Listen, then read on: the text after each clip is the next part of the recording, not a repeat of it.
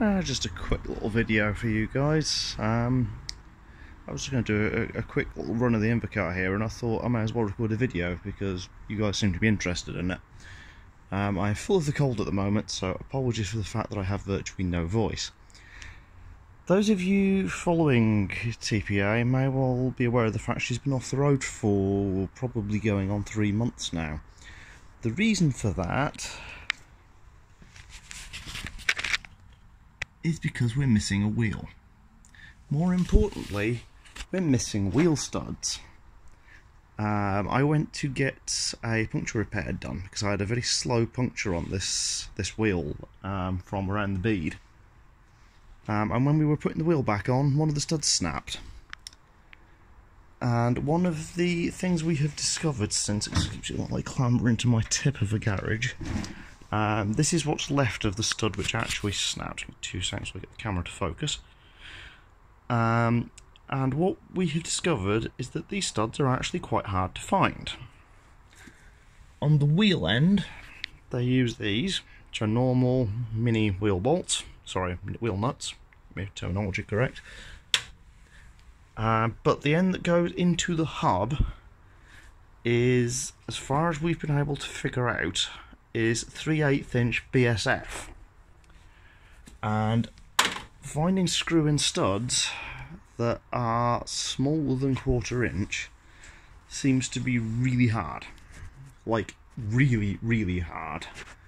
Um, the only one, well, in high tensile steel anyway, I've been able to find a few that are intended for things like exhaust manifolds and stuff like that, but nothing in decent steel.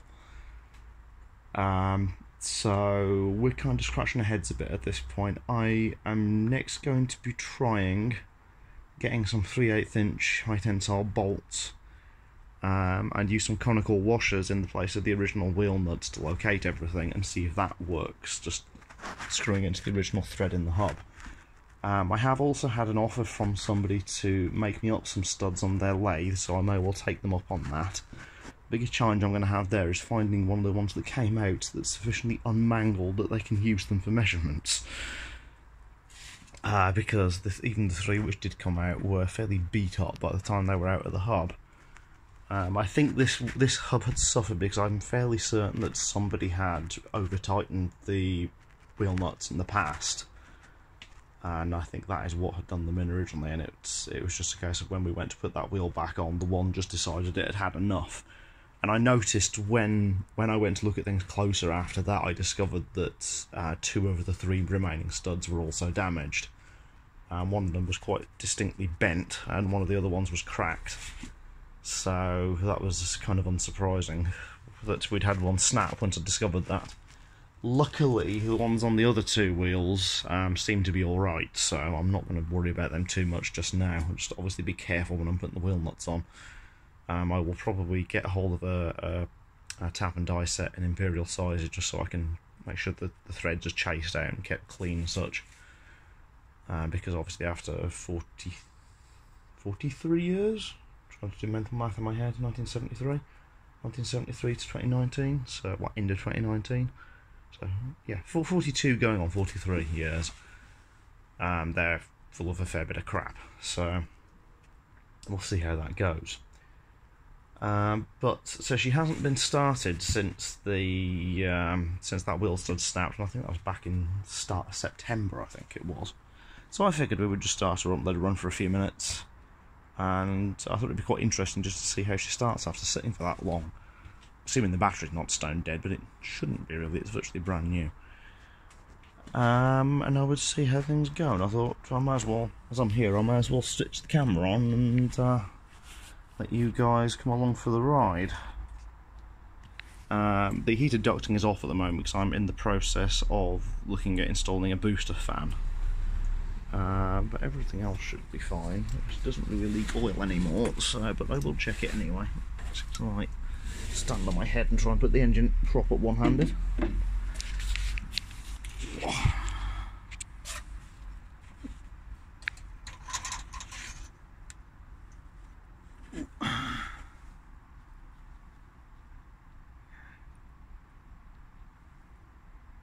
Reading a little bit overfull, but I said it will read a bit high because there's probably no oil the oil's probably drying back out the oil cooler and everything. So she did have an oil change like 20 miles before the incident happened and it was spot on then. So. Alright, well, shall we have a look and see how things go? I might as well leave the light on. yeah, my my garage is a complete tip. I need to do something with it. Focus camera. Especially as that Crypton machine that's buried, buried under the sheets of insulation, um, that needs to be going away to a new home soon because I've bought a Sun 1215 motor tester which will be replacing it. Um, and it needs to go in the same spot. Which is also why I kind of need to get this thing moving because I need to get it out of the garage before I can get that out. So yeah, we need to fix the wheel, the the, the lack of a wheel problem.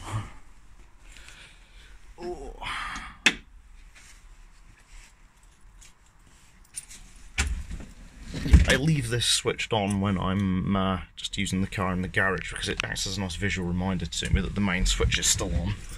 Because I've got a master switch installed down there.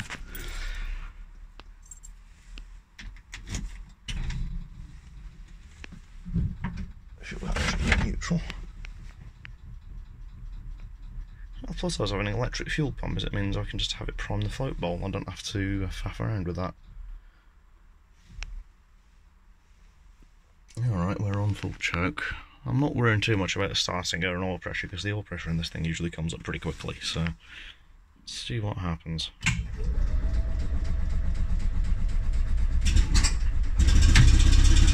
And off she goes.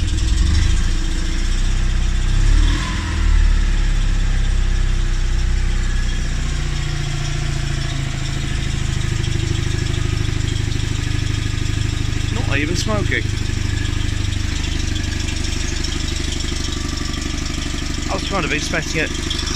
I was kind of expecting it to smoke a bit, but uh, no, apparently not.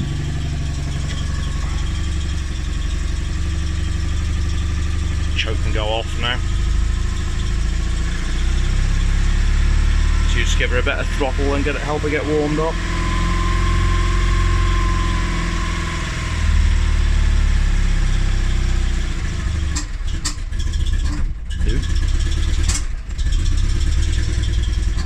bit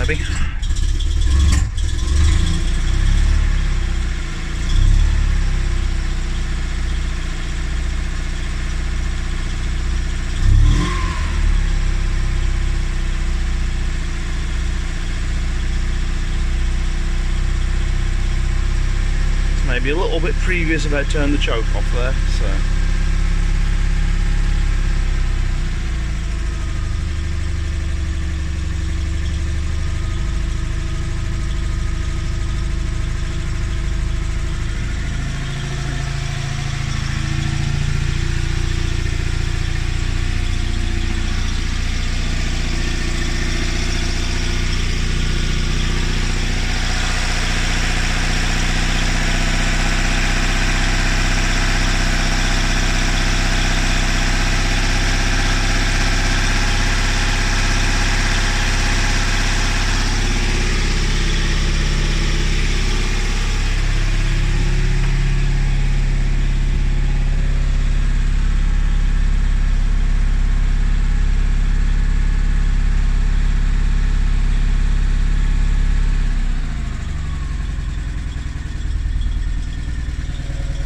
forget when it's been a while what a lovely sounding little engine this is.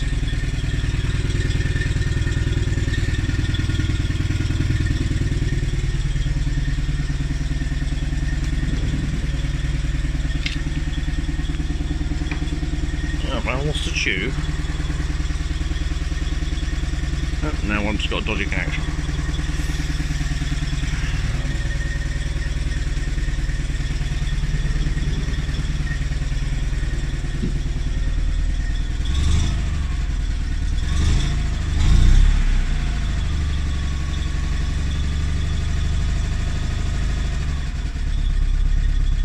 I have a slightly sticky throttle, but it actually works quite nicely as cruise control, so... and for setting for fast idle for warm up and things, so I'm kind of tempted just to leave it that way. Yeah, she's filthy. I need to get the seat properly cleaned. It's full of bits of other car. Ah, just the joys of a car that's not been in everyday use for a while. I've got some little plastic caps to go on the number plate.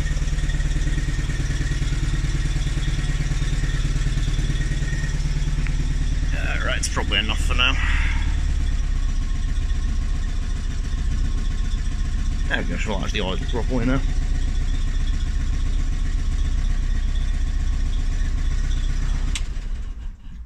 Alright, just going to call that good for now because I haven't got my exhaust extension on so I'm slowly filling the entire garage and the rest of the house up with exhaust fumes because this garage is not as well sealed from the rest of the house as it really should be. So we'll call that... So yeah, we'll call time on that for now. Yeah, I've just been clearing the freezer out. I have some stuff I need to stick in the bin. Um,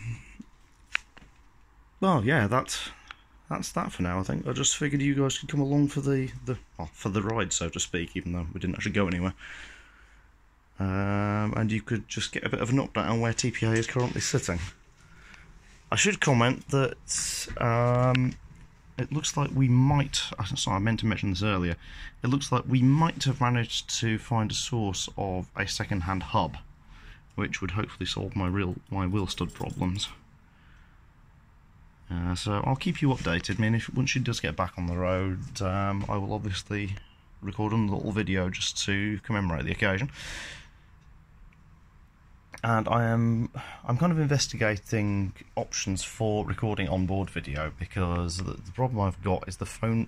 The, the mount I have for my phone, which is by far the best video recording device I have, is rubbish. You just get so much shake through it that the video is completely unusable. So I need to try and find something which mounts a little bit more solidly. Um, especially this YouTube of, sorry, this phone does not mute notifications when I'm recording video, apologies for the buzzing. Um, I need to try and come up with a better solution for mounting the camera so I can actually get usable video. Um, the mic isn't too bad, but the, uh, the the things I just need a proper way to actually attach it to the car. So I am looking into that. If I do get that working, you will probably see a few more just me having random random rambles about stuff while out driving or just taking you guys out for a drive somewhere type videos from me.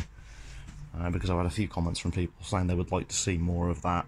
So we shall we shall see what happens. the uh, poor scruffy um, clear coat lacking Activa will shortly be going into BL Autos to get what's probably going to wind up being pretty much a complete front suspension rebushing. Um, because I've got a failed bush in one of the um, lower control arms, which is making it pull to the right under acceleration. Um, and there are quite a few clonks and creaks there which have been there ever since I got the car so I think I will just be basically throwing it at them and saying fix it um, she's also going to need a set of tyres and she needs an exhaust so it's going to be an expensive old month with this car which is a bit of a tricky one to, to justify given what Xantias are worth or not worth as the case may be but the thing I've got is I really like the car, and to try and replace it is probably I'm probably going to be looking at something like a sort of five-year-old Volvo V50 or V70 or something, and I'm not going to be getting much change probably at five or six grand for that. So I'm much more inclined just to spend a bit of money on keeping the car I actually like on the road and it's quite difficult to find something which gives the same blend of performance and comfort that the Xantia Activa does. So we'll just wait and see. Still trying to find a home for the Lada, which is just kind of laid up for the winter at the moment, parked on some concrete slabs to keep tyres off the grass. Um, I don't know what to do with it, so kind of need to try and find some proper storage, I think, and just that's not extortionately expensive. um, or miles and miles away. I mean, I have had a good offer um, over in North Wales, but it's a long, a long trip to put a car into storage and to get it out again. So I would really like to try and find something that's a bit more local. So, because if I can get that sold, I can then crank some of the funds from that back into maybe getting some of the paintwork on this done properly, or getting a few more of the jobs on this ticked off, or on the van ticked off. Even though running wise, it's actually doing all right at the moment. It's just there's, there's, there's perpetual issues with the coach work. I mean, that's that's what only a coach built camp is about. It's it's a game of whack-a-mole with water ingress and rotten wood and stuff like that. Ah, and obviously, the other thing I really need to do is get some shelving installed in my garage so that I can do something about this nonsense that and obviously get the rest of the lights wired up as well. I mean, I've got a bunch more for things like this. I think there's another three of them stacked up in the corner as well, which will be going on the, the other wall over there, as I've got here, so I'll actually have decent lighting in here. Um, and, well, that's about it. I think I've, I've rambled enough for one uh, video, I think. So I will call it a day here. And hope to catch you next time. Bye, guys.